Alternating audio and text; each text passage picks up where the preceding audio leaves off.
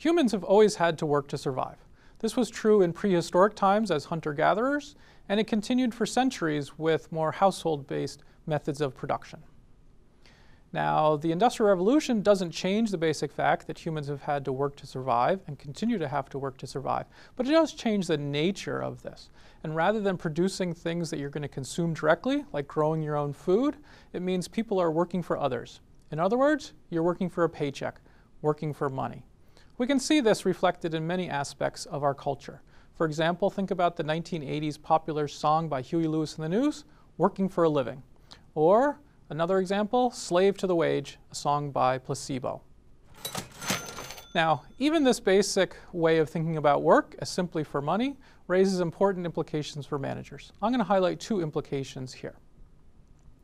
First, the fact that a family or a household survival depends on working means that financial pressures can be magnified in the workplace. So when employees feel that their job is at risk or feel that their income is at risk and not able to make ends meet at, in the workplace, this can bring additional stresses, additional pressures, even sometimes additional desperation into the workplace. Now a second implication. Because work is seen as an economic necessity sur to survive, at least for most people, this can make work seem like a curse make it seem like a natural part of the human condition, the way it's always been and the way it has to be. At a general level, this is probably true. Again, we need to work to survive. But this doesn't mean that specific jobs have to be structured in specific ways. Rather, organizations and you as a manager have choices as to how jobs are designed, how work is structured.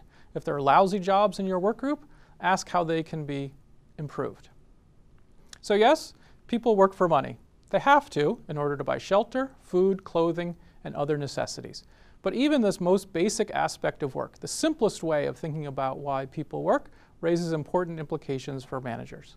First, watch for extra stress, maybe even in some rare cases desperation among your employees as their household financial pressures are potentially brought into the workplace. Why are they brought into the workplace? Because that's their source of income. Second, don't reduce work to a, to a curse. Don't think, well, this is, the, this is the way it has to be, and we have no way of improving jobs, making them better. And lastly, don't assume that work is only about money. Yes, money is the focus of this module, Module 2. However, in Module 3, we're going to explore a variety of reasons beyond money why people work.